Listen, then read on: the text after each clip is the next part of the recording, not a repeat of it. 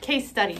Somebody calls me at the dialysis clinic and it's a Saturday and it's a peritoneal dialysis patient. So my PD nurse is off for the weekend and she needs to enjoy her weekend off. So I need to know what to do when somebody calls me and says, I have a leak in my catheter.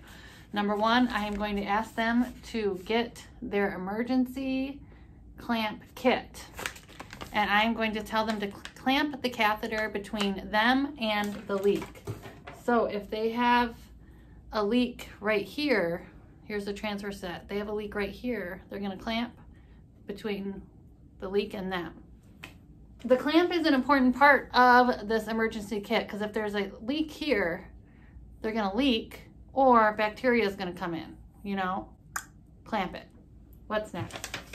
Oh, see, now we want to prevent the infection. We need to prevent bacteria coming in because what if it was a cat bite or a dog bite or like who knows, something that caused the leak?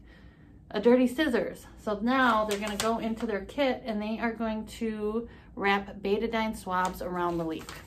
So cute, emergency clamp kit. This is what our clamp looks like. So cute. Betadine gauze. So this is you have a hole right there. So I need to clamp it. So let's pretend this is me or, you know, I'm in the emergency room or something. I'm gonna clamp it. Grab the clamp, so I'm gonna clamp between them and the hole to stop the leak. Got my betadine? Thank you. I'm gonna wrap it around the hole. Betadine around the hole. Wrap gauze around it. So this is gonna help prevent peritonitis.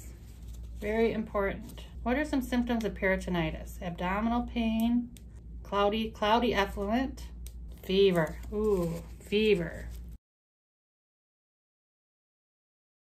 Wow.